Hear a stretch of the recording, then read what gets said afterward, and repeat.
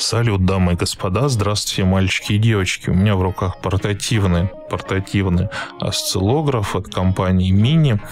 А, называется он DS212, может называться DSO212, ну и так далее.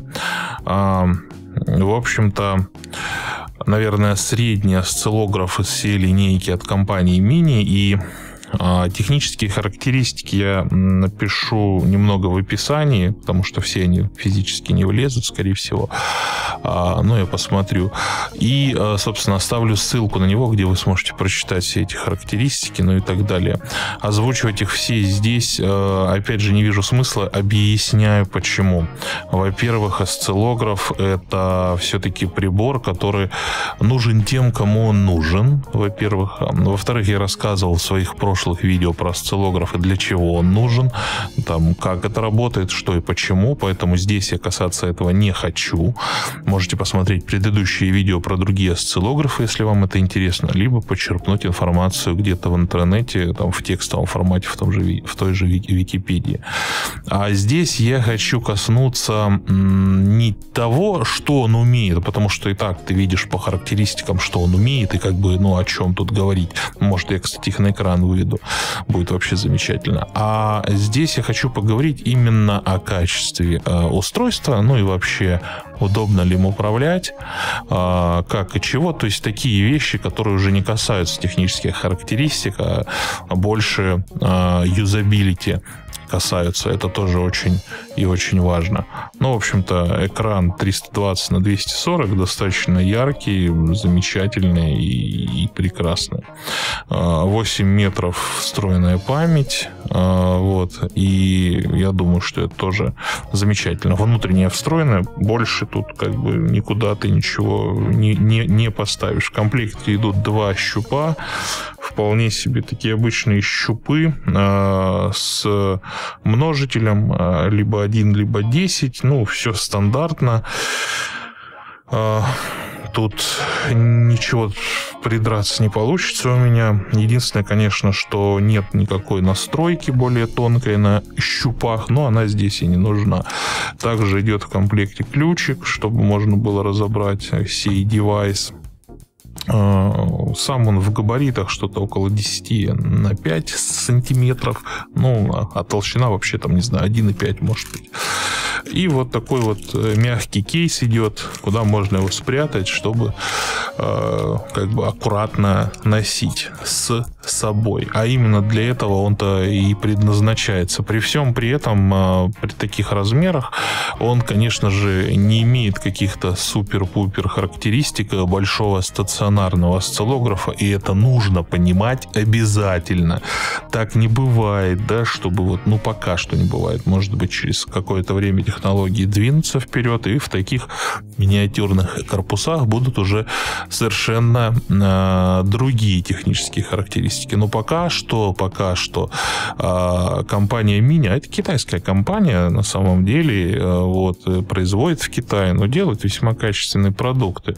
Я показывал уже их осциллограф, э, прекраснейший тоже образец, э, вот, и он э, отчасти может даже показаться многим интереснее, интереснее, там другие характеристики, но еще раз говорю, посмотрите просто видео про осциллографы у меня на канале, э, я думаю, э, там многое что увидите, там есть осциллографы как самые дешевые, которые вы можете сами собрать на коленке, так и осциллографы, которые вот сразу готовы в миниатюрном корпусе, компактные, и все, как говорится, включил и пользуйся. Ну и про включил. Переключатель включения-выключения и два регулятора. Это два колеса сверху и с правой стороны, которые, во-первых, э, бегают по меню, во-вторых, при нажатии входит это самое меню. Вот. И опять же, вот это, это двигается по вертикали, а вот это оно передвигает по горизонтали, да, и здесь вы можете выбирать. Э, ну, это генератор сигнала, мы зашли, собственно, ладно, не буду я про это, так понятно всем тем, кто пользуется осциллографом. По поводу управления, в общем, претензий у меня никаких нет, оно вполне себе заслуживает внимания. Ну и, как вы видите, здесь очень мало кнопок. Питание микро-USB. Да, в комплекте также идет кабель микро-USB, я забыл его упомянуть. И еще в комплекте идут вот такие вот э, миниатюрные э, насадки. Ну, это чтобы, например, где-то э, на плате подцепиться и ничего лишнего там не закоротить. И, в общем-то, ну, вот так вот, да, вы, вы вынимаете щуп, и вам нужно где-то прикоснуться, а SMD компонентов накидано много, и вы можете прикоснуться немного не туда, и не то, чтобы там закоротить, ну просто не те данные получить, а иногда и закоротить, да. Одеваете, одеваете вот такую вот насадочку, вот, вот так вот. И все, видите, как теперь аккуратненько у вас только до нужной детали вы прикоснетесь, до нужной там ножки какой-нибудь, к примеру, или просто до нужной дорожки на плате, там, ну и, в общем, то, что вам нужно про, про, продиагон, продиагностировать. А так, в принципе, щупы вполне себе неплохие, я бы сказал. Вот, да, как я же сказал, внутренний генератор сигнала. Ну и возвращаясь, это металлический корпус, э, такой не знаю, алюминий, наверное, потому что ничего другое в голову не приходит, но выглядит все это металлическим. Это вот тоже металл, здесь металл, все это анодировано. А, здесь защитная пленочка сверху. Можете ее снять, можете не снять. Дело ваше, роли никакой не играет. Э, ну, собственно, а, первый канал, второй канал. Вот что еще по органам управления? Наверное, больше тут ничего и, и больше рассказывать и не о чем. По экрану э, он достаточно яркий. Э, при всем при этом вы можете ну, регулировать громкость вот этих всяких пик-пик-пик э, и поставить его достаточно громко. Он противный, этот звук, вы его услышите в любом случае. И можете регулировать, собственно, яркость экрана.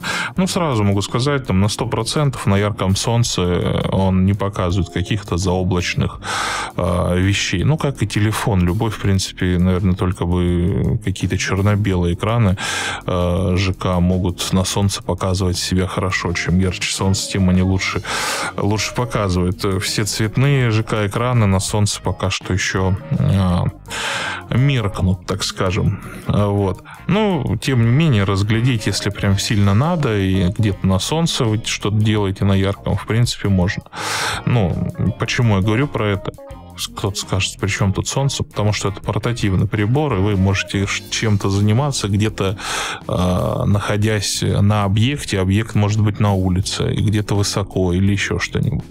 Вот. Но при всем при, при этом э, какими-то очень серьезными вещами, таким миниатюрным э, осциллографом заниматься, может быть, и не придется, э, потому что у него все-таки не, не настолько широкий охват, как бы хотелось досталось нам с вами, но тем не менее какие-то вещи с помощью него можно, а, тем не менее, проверять, а, находить неисправности, что-то диагностировать, что-то прототипировать, ну или дома там на столе у вас мало места, можете таким пользоваться. В общем, ладно, применение не буду, я вообще опять начал рассказывать, где можно, где нельзя его и где он пригодится.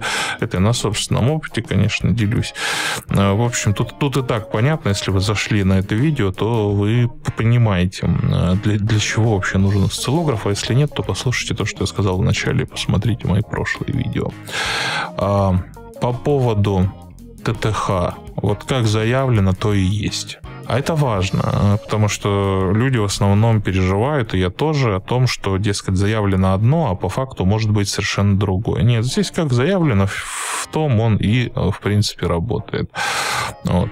Такой вот ми- миниатюрный ослик DS212, э, есть DS213, я уже показывал его, есть еще младшие модели от компании Мини. Э, Компания Мини, еще раз, э, не помню, сказал или нет, это та, которая делает миниатюрные отвертки, паяльники, ну, в общем, все такое очень э, гиковское, миниатюрное, прикольное. Вот. Ну, Такие вот дела, друзья. Такая вот песня. В общем-то, думаю, что на этом все. Спасибо за внимание. А, пользуйтесь теми инструментами, которые доставляют вам радость. Э, желаю всем и каждому, чтобы вы могли себе позволить те инструменты, которые доставляют вам радость, а не только те, которые вам необходимы. Это тоже очень важно, что часто слышишь от людей, что эх, классный, классный девайс, я бы себе взял, но не могу себе позволить, и поэтому возьму что-то другое, ну и так далее и тому подобное. Вот чтобы вы могли себе это позволить, ну и чтобы я мог себе тоже позволить пользоваться подобными девайсами. Такое у меня небольшое пожелание.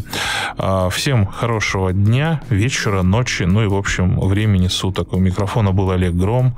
А, ставьте лайки, подписывайтесь на канал. Вы знаете, что делать. Приходите на Patreon, поддержите. Увидимся, когда увидимся. Пока.